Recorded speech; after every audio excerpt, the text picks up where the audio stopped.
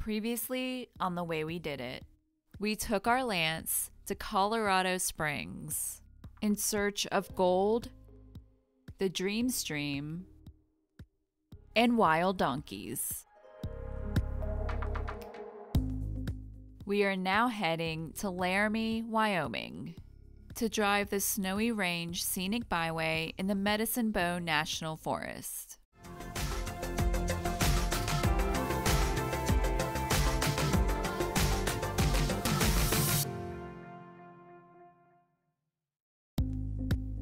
A well known fact about Dave he is obsessed with the vast, wide open landscape of Wyoming and is constantly looking for reasons to visit. His latest discovery is a scenic byway that traverses the Snowy Range Mountains. It travels through a sub range of the Rocky Mountains, passing glacier fed lakes, alpine meadows, and peaks towering over 13,000 feet, which, looking out the truck window, was hard to believe existed in this area. But sure enough, the mountains appeared on the horizon, and we were entering the gateway of the Snowy Range in the historic mining town of Centennial, named in honor of the 100th anniversary of the Declaration of Independence.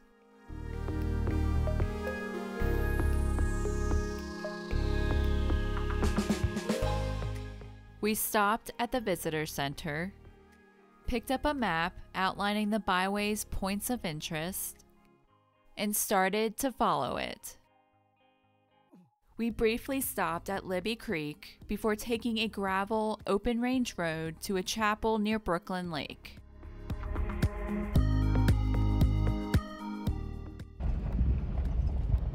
You got pine needles all over your back. You realize that? Pine needles all over you.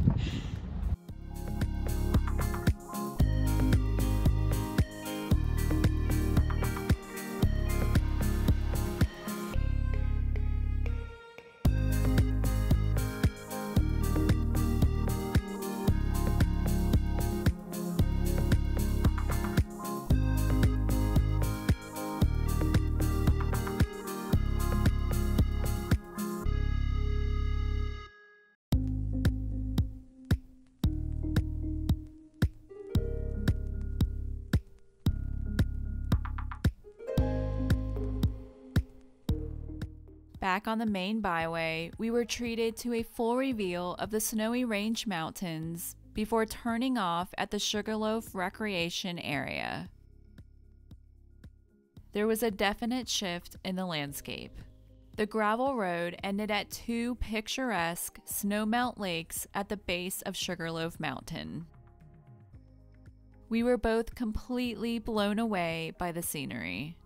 This was not at all what we expected to see on this trip. We took some time to explore the Medicine Bow Trail around Lewis Lake before moving on.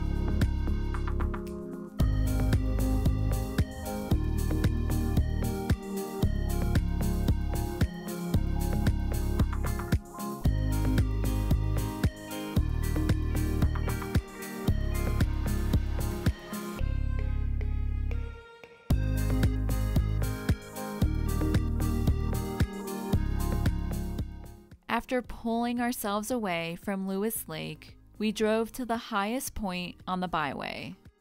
The Libby Flats observation site sits at over 10,800 feet above sea level.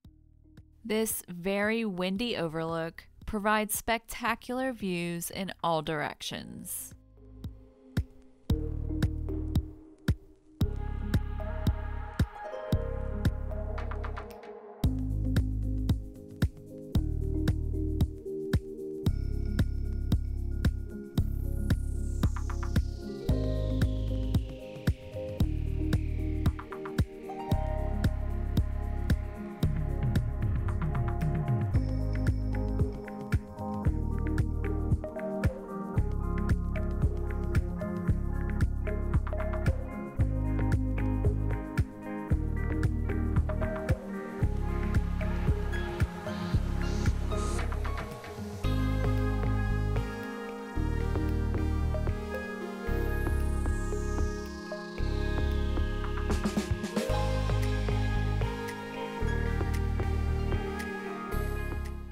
The Snowy Range is unique among the Rocky Mountains in the fact that they are actually made out of quartzite, not granite.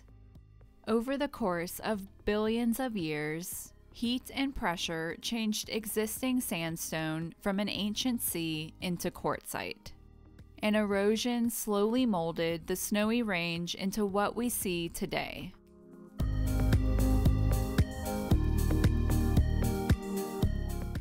The road continued to offer breathtaking views, and we continued to soak it all in.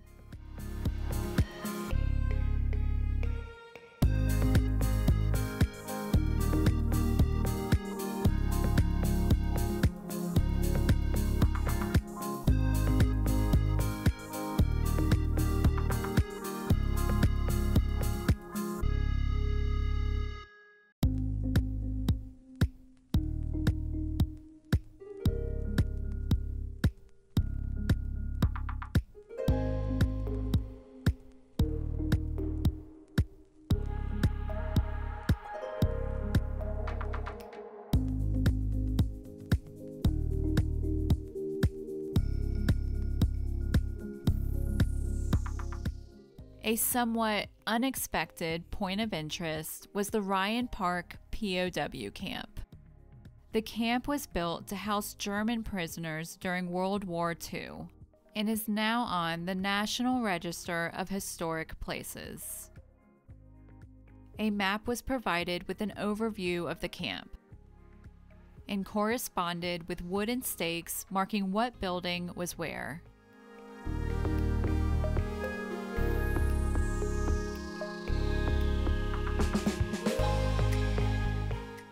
We ended up completing the byway sooner than anticipated. So we parked in a peaceful aspen grove next to a creek and discussed what to do next over lunch.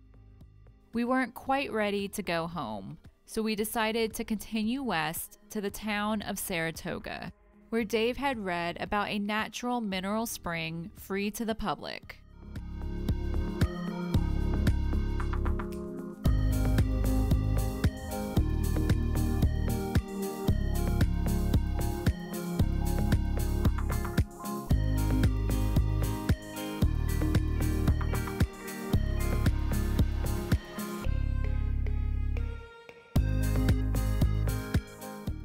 When we dipped our toes in, we were shocked at how incredibly hot the water was.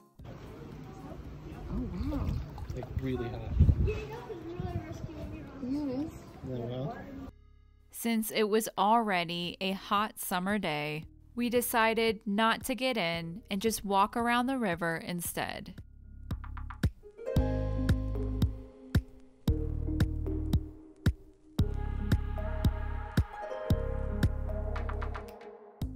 Driving back over the byway, we made one final stop at Lake Marie, a site we had to pass by earlier due to the lack of parking. Its high popularity was immediately justified the second we laid eyes on it.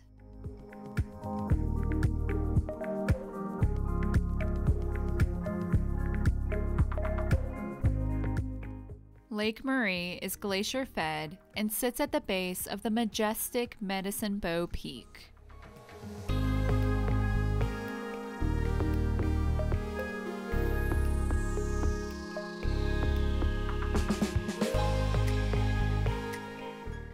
As if that wasn't a perfect ending to our day, we had a bald eagle sighting,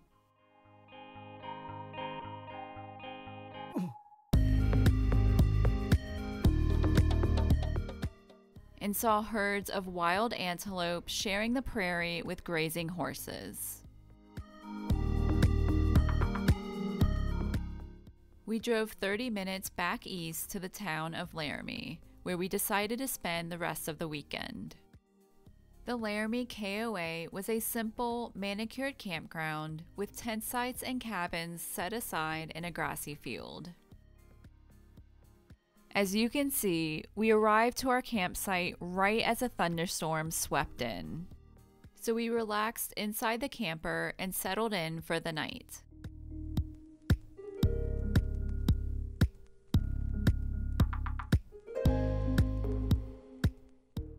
With clearer weather the next morning, we set out to explore the town. Right around the corner from the campground is the Wyoming Territorial Prison. It was built in 1872, long before Wyoming was even a state. It's also the only prison to ever hold the notorious outlaw Butch Cassidy. We unfortunately arrived too late to take a tour, but you can catch a glimpse of the historic building off in the distance.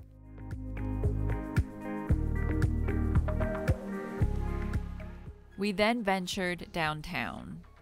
Laramie was actually created by the Union Pacific Railroad. It was chosen to be the first location of a major repair depot, with plans to build machine shops, a large roundhouse, and a power plant. Railroad surveyors laid out the streets and lot lines of the new town, and settlers moved to the area shortly after. Dave had read about this footbridge that was built for the Union Pacific workers as a safer way to cross the train tracks. So we decided to check it out. It was pretty exhilarating standing directly above the trains flying in every few minutes.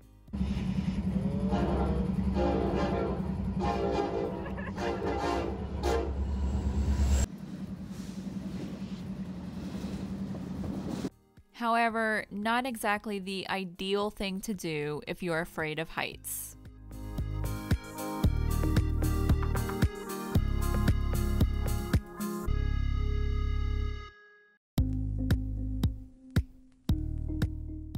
In a suburb on the outskirts of town is the Spring Creek Disc Golf Course.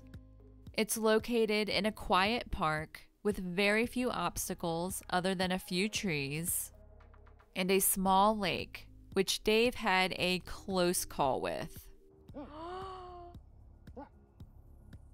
Oh! Yes, You almost lost your disc. oh my god, that was such a lucky throw. Look at that, it hit the sign. It hit that sign. Yeah. I thought it was way further out. No, it hit the sign that was li- literally in front of the lake. And it bounced all the way back to you. yeah. Should I try to go over the lake to get to the No. Then, out of nowhere, a huge thunderstorm with lightning suddenly rolled in.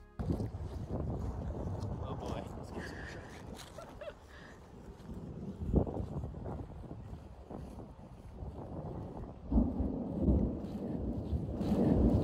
Rain it down.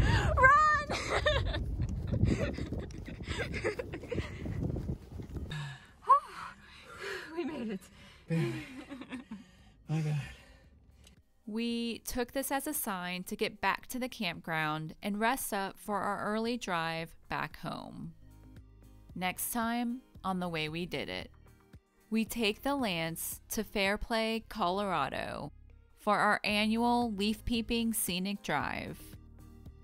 If you'd like to join us on more adventures, be sure to like this video and click that subscribe button. And consider supporting our channel by becoming a member so we can continue to show you the way we did it.